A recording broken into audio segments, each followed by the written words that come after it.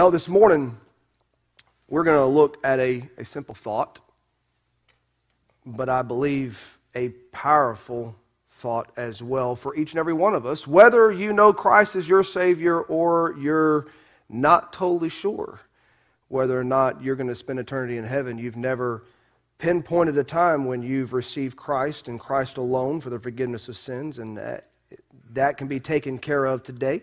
But if you're a child of God through the blood of Jesus Christ, or you're unsure, either way, this message will apply to all present.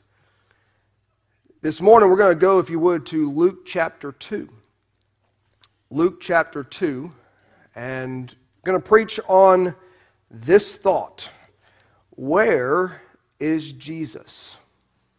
Where is Jesus? Luke chapter 2 and we're going to start in verse number 39 and work our way down to verse number 46. Luke 2, verse number 39, starts off and says, And when they had performed all things according to the law of the Lord, they returned into Galilee to their own city, Nazareth. And the child grew and waxed strong in spirit, filled with wisdom, and the grace of God was upon him. Now, I was reading that again this morning, and um, we'll save it for another message.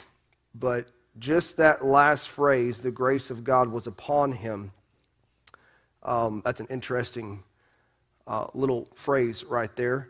Um, it didn't say it, it, was with him, the grace of God was for him, the grace of God was, it was upon him.